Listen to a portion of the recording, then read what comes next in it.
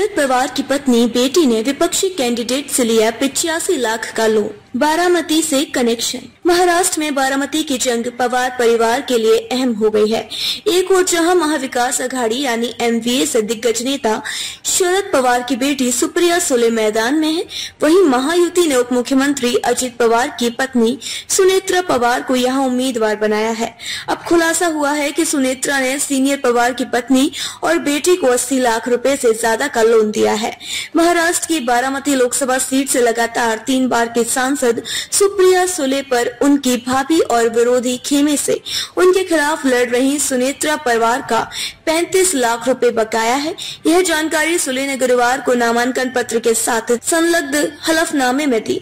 राष्ट्रवादी Congress party Sharad Chandra Pawar के अध्यक्ष शरद पवार की बेटी का मुकाबला चचेरे भाई अजीत पवार के नेतृत्व वाली राष्ट्रवादी कांग्रेस पार्टी की उम्मीदवार सुनेत्रा से है। सुनेत्रा अजीत पवार की पत्नी है।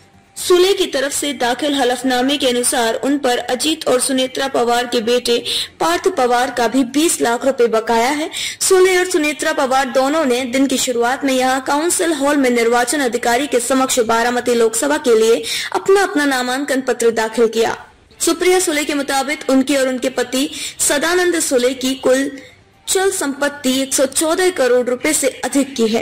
सुनेत्रा पवार ने अपने हलफनामे में चल संपत्ति की कीमत 12 करोड़ छप्पन लाख अठावन हज़ार नौ सौ तिरासी रूपए, जबकि अचल संपत्ति की कीमत अठावन करोड़ उनतालीस लाख उनचास हज़ार सात सौ इक्यावन रूपए बताई है। समाचार एजेंसी एएनआई के मुताबिक सुनेत्रा पवार ने सुप्रिया सुले के अलावा सीनियर पवार की पत्नी प्रतिभा पवार को भी 50 लाख रुपए दिए हैं। दोनों ही उम्मीदवारों ने गुरुवार को नामांकन दाखिल किया। एक ओर जहाँ सुनेत्रा की रैली में मुख्यमंत्री एक नाथ शिंदे उप मुख्यमंत्री देवेंद्र फडणवीस और अजित पवार शामिल हैं।